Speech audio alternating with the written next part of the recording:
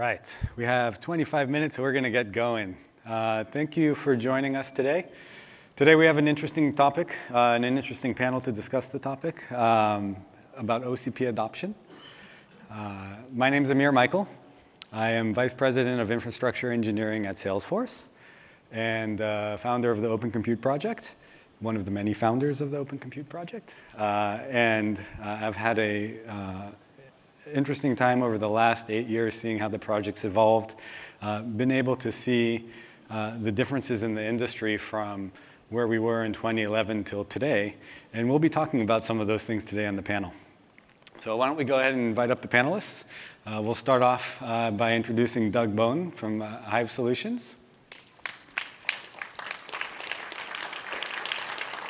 And Mohan Kumar from Intel. I just found out an interesting tidbit. Mohan's been at Intel for 25 years.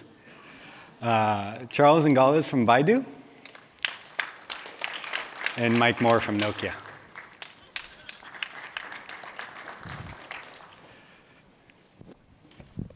All right, so we'll kick this off, and, and I'll, I'll, tell a bit of a story before we, we begin, which will lead into our first question. But uh, when we started OCP, um, back in 2010 is when we did the first designs, there weren't a lot of solutions that were really designed for scale out in the industry. And so that was the reason why OCP was really formed was because companies were out looking for these solutions, couldn't really find things that worked at scale. And Facebook at the time decided that they just needed to go and build their own. The world's changed since then. Uh, I joined Salesforce about a year and a half ago and was faced with a lot of the same challenges and, and, and um, opportunities that I had when I was at Facebook, only the industry had changed. And as we went out and started looking for scale out solutions to help with our infrastructure, we were quite surprised to find that a lot of the things that we were looking for uh, back when I was at Facebook exist in the industry today. And so there's been a migration from what used to once be reserved for hyperscale, large-scale operators into products that you can now find into the industry today.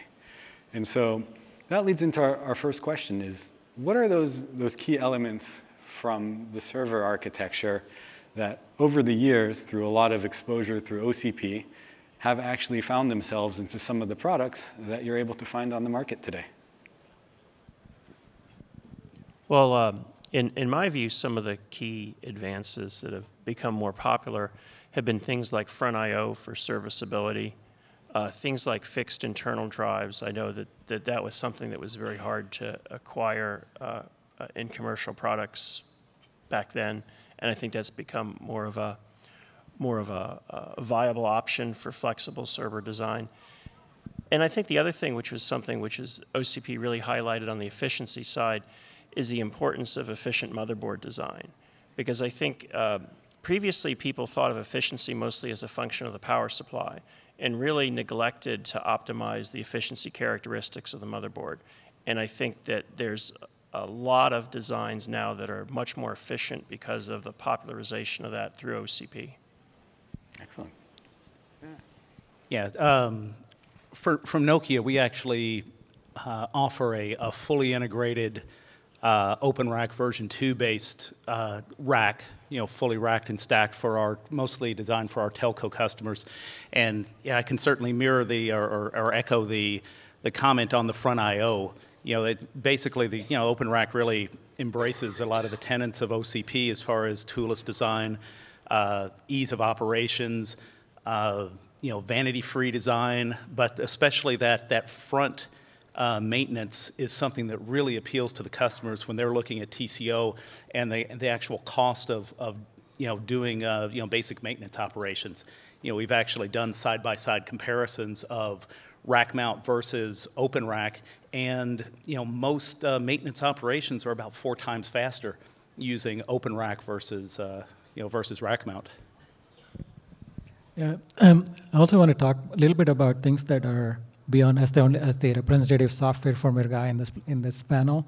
Uh, there are things that OCP has brought in, like uh, you know the open firmware and open BMC and so on, that have you know enhanced the platform experience for the entire world. I think by you know being the central place for innovation to happen. Yep. So what I'm hearing are, are things that help on the operational side, big piece of it, right? As you have scale, more and more servers, tens of thousands of servers, those are big wins because those get multiplied across them. At the same time, uh, there were a number of things that came out, especially with the first revision of OCP, um, that weren't as, as successful, didn't gain as much adoption, right? And some of them still exist uh, within the large-scale operators today and haven't quite trickled down to the, to the adopters of OCP. A couple that, that come to mind, well, there, there's one interesting one. In, in the first revision of OCP, we did a triplet rack. And it had three columns of servers lined up, welded together, uh, and you had to roll in three racks at a time, more or less. That was really heavy. yeah, uh, that was uh, especially a challenge when you wanted to fill them up with disks. Um, and so that one has, has since gone by the wayside for particular reasons. There are other things that are still valid today. Uh, for example, localized UPS systems. Um, those are, are things that are perhaps harder to adopt, but uh, you know, as this room is filled with both uh, adopters and solution providers, right, uh, may still be valid. And I think it's important to talk about, hey, what are these other technologies that people can benefit efficiencies from? Are there opportunities to help introduce them into, into the market? Any other thoughts around why it is first to adopt things like localized battery any thoughts around how that you can gain traction around the, those, those types of uh, adoptions or any other things within OCP that perhaps didn't quite make the cut either? Yeah. I think as far as the, uh, the battery adoption, most of our installations have been going into brownfield data centers, so you know they already have a you know a, a, you know UPS infrastructure set up. But I really think as we begin to move OCP more toward the edge into more greenfield deployments, that's where something like battery backup is really going to start to gain popularity. Yeah. I think we're also still missing the boat a little bit on optimizing at the data center level because people talk about optimizing at the server level and optimizing at the rack level. A lot of the promise of OCP is still bringing efficiency all the way back to the data center design and bringing, say, 480 volt power unconditioned directly into the rack. I mean, most of the installations today still have a lot of what I would call sort of legacy power distribution thinking. And even when we move to power distribution in the rack, which is obviously a big advantage, and the backup batteries, there's still a lot of things that are usually less than optimal, you know, unless you're at scale building a lot of data centers, you know, uh, from scratch.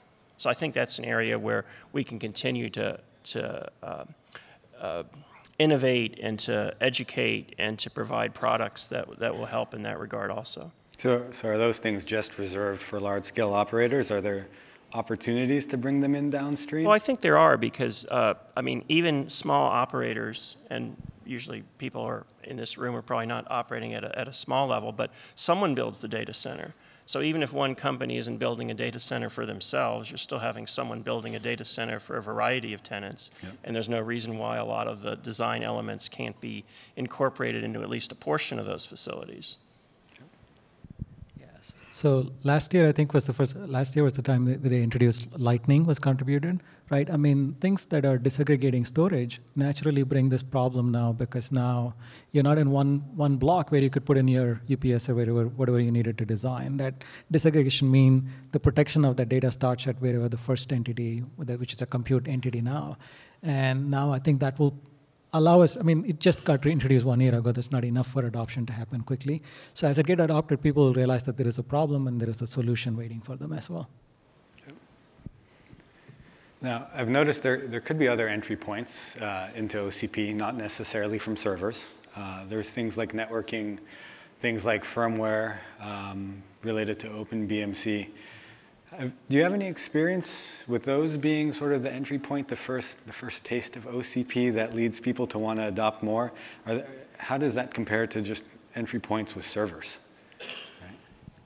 I, I can easily see that. I mean, OpenBMC is still emerging, but I can easily see where um, having access to that openness in the server platform allows you to come in and enter this market and uh, you know produce a product as as a as a vendor uh, because need you need to have, I, I, think what's what's happening is that essentially there is a solution mindset now at OCP, which is awesome because it's not just I'm giving you a server, I'm giving you a, Gerber file or anything like that. I'm giving you the whole thing that can be built into a platform and put into production. That's what having an open firmware allows you to do, what OpenBMC allows you to do. right? And and this is it's a, it's a great trend. I mean, I would say that on the, uh, in a similar vein, the networking products provide a really good solution for a lot of people. And I think that as much as we've made advances in the, in the servers and the rack level, probably what's happened with top of rack switches is even more exciting. Uh, in terms of adoption, though, it's kind of interesting because I think a lot of people are very set in their ways in terms of how they implement networking. So you probably have half of the customers where um, OCP type networking is probably going to be the last thing they're going to put in their data center. And probably you have another half of the customers, a little bit of a simplification, but the other half of the customers are probably going to put it in first because it provides a lot of value and cost savings and TCO advantages. So it's kind of interesting that I think in terms of networking, it's probably going to be something where you're either a very early adopter or it's the last thing that gets changed in the, in the rack. And that might be a little bit of a simplification, but I think there's probably more truth to that than, than not. Yeah. And I think the ma- majority of the customers that I'm working with today, at least, they're on the other side of that. Networking will probably be the last thing that they go, you know, open with. You know, they want, uh, you know, they typically have their, their own switch vendors that they've selected and they prefer to have integrated. And so, the, you know, the opening for us is really in the hardware side of things to, or, or in the, uh, should I say, in the compute and the storage side of things and the rack to, you know, to introduce OCP. Yeah, and that's okay. I mean, OCP provides a lot of solutions for a lot of things, and if it's not appropriate for someone, they can use the ones that, that are good for them. And I think we have to remember that. It's, it's open for a reason, so people can adopt it or not, depending on, you know, how it helps them. And I think for most customers, they'll eventually, users, they'll eventually figure out that a lot of it helps them in a lot of ways. But if they don't view it that way, they don't have to adopt the open BMC or the open storage. You know, they can pick and choose. Are there any that are coming specifically for the software innovations, either on the switching side or on the management side? Is that a primary driver, or have you not seen that? I think for us, at least, uh, you know, our customers show a lot of interest in Redfish and the potential of, of you know, of that API.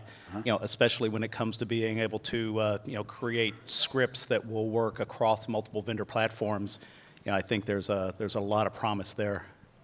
Right, so that's one of the key things about, you know, I mean, so some of these uh, transformations uh, interestingly happen in uh, step functions, and Redfish is one of those things where you're moving from inherently binary-oriented protocol to a HTTP text-oriented protocol that, you know, immediately human consumable. I mean, these are, you may think of them as, you know, small, trivial changes, but they have a big impact on the usability of the product. So very excited about the direction on OpenBMC and the fact that OCP is throw, throwing its weight behind Redfish. All right, I'm going to shift gears a little bit, uh, specifically to China. When when we think about OCP or infrastructure in general, you don't specifically think about it as having geographical boundaries. But uh, there is something, uh, an organization in China called ODCC. Um, there are standards that they're working on as well, um, specifically around some around 48 volts. I was wondering, Charles, if you could first tell us a little bit about what is ODCC and any tie-ins with OCP. Okay, so ODCC is a, stands for Open Data Center Committee. Um, it's a, it's a a standards committee that uh, operates out of uh, China. Um, I would say that a, a lot of the end state goals are, are, are fairly similar. Um, you also see some elements uh, of oh, um, the benefits of OCP and ODC products. So, for example, you'll see a modular DC bus in the rack. Um, OCP has some differences in that there's actually even a modular cooling system as part of the rack. So, um, so I think you know as we move into the the, the, the future, I mean this uh, the the 48 volt is something that's been uh, uh, worked on and developed for quite some time by some members of OCP, and um, it's something that Baidu's explored, and and uh, and and we we feel there's a, a, a good solution space. Um, certainly, as time progresses, as more um, as the uh, so say the supply chain for 48 volt becomes more mature, we're seeing a very strong uh, value proposition. In, in, right now, it's maybe some narrow verticals, but we feel that over time it will be it will become more spread out. So there'll be there'll be very strong value propositions in even the the, um, the most diverse of platforms. So uh, so that's an area where there's a lot of a lot of work and a lot of research, and and we're pretty strongly engaged with with uh, a lot of the suppliers of the of this uh, 48 volt technology. Got it. So it sounds like there's a rack standard uh, across ODCC consumers. Right, right. So those, they're just like you see in OCP. There's there'll be some standard for the 48 volt. Okay. Yeah. Got it. And then how about for the, one, one of the challenges with 48 volt adoption is points of load or actually devices to plug into it. Is there focus around that with ODCC? Um, yeah. So so when we say like narrow vertical space, it, it, it, it, the, the biggest benefit comes from high power density. Right. Right. And this is not something that traditionally the uh, OCP or ODCC is a, is space that this really high density platforms has excelled at, right? Sure. But but uh, but uh, uh, you know as we as we progress to 48 volts, these are the this is the reality, right? We're dealing with much higher density systems, and uh, and we're doing the engineering to accommodate that. Yep. Excellent. Um, next topic is slightly different, not as technical. Um, coming to a new company li- like I have, um, there's obviously interesting things uh, um, from both the technical side and the supply chain side that would want to drive someone to use OCP. But there's also a lot of uh, legacy and, and, and um, uh, practices that companies have built in having a room full of solution providers, end users, all of them at some level interested in OCP, perhaps wanting to adopt. Aside from the technical part of it, what are some of the other challenges that people may face either politically, organizationally, within their companies in order to bring in OCP? Any that you've experienced as someone selling into them, eh, into uh, customers, or as a customer yourself being able to adopt?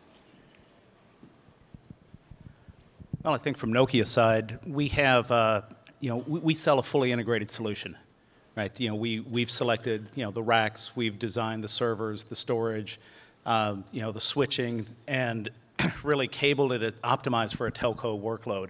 However, you, there are some customers out there that they have separate organizations, you know, one that specifies the rack, one that specifies the server, one that specifies, you know, the, the, the power and the, and the networking. And so, you know, the, the challenge to us with, with some of these customers is really bringing them all together to agree that the solution that we're providing is really the best one for them. Yeah, and I think along the same veins, uh, OCP works well when you buy multiple parts of it, right? You don't buy OCP servers and then not have a rack to put them in, right? So there's always a number of different things that have to be integrated, and the solutions are synergistic.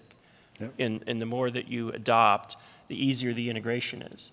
So when customers, for political reasons or you know departmental reasons, are not willing to adopt all aspects of the solution, then you come into issues of well, we love OCP servers, but we have to connect them to traditional storage and use certain switches with different rack types, and I think that presents a barrier.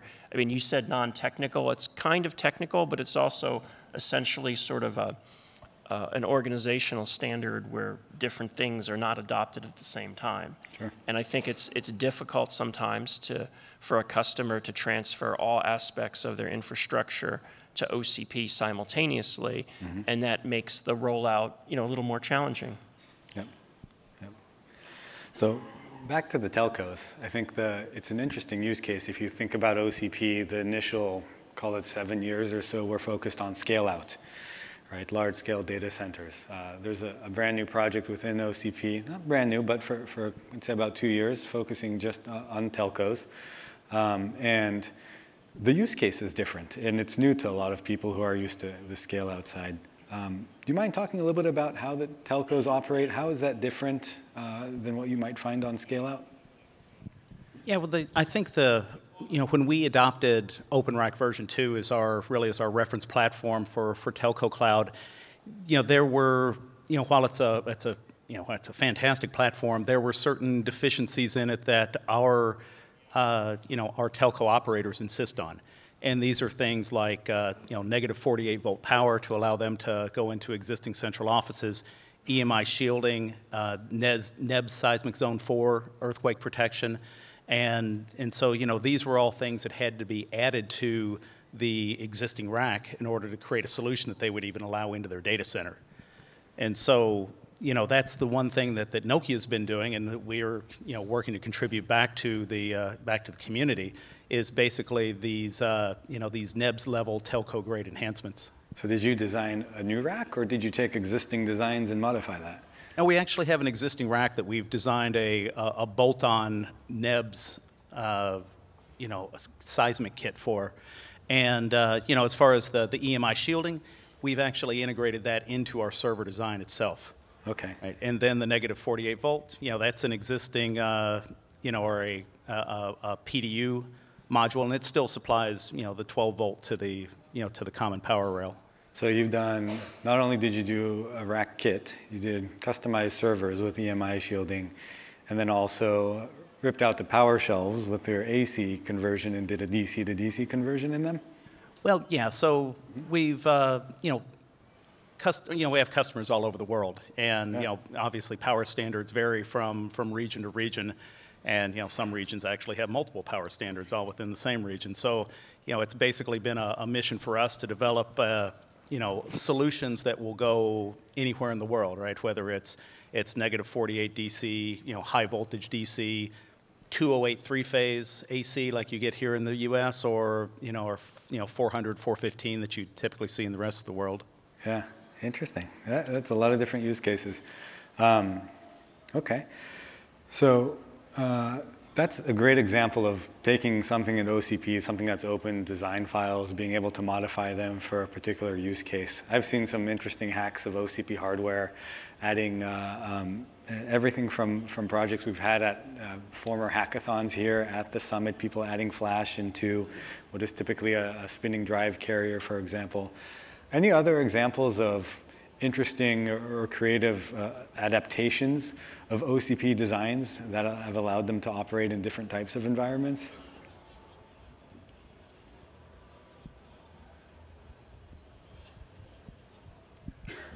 Good question, but none, none come to mind right now. But uh, certainly it is a, a, big advantage of the platform to be able to leverage things. Uh, I think it's more common for people to adopt OCP principles in non-OCP projects, but obviously, uh, you know, you know, from just what you were talking about, obviously you can do the extensions within the OCP project itself also. Yep. But no examples come to mind off the top of my head.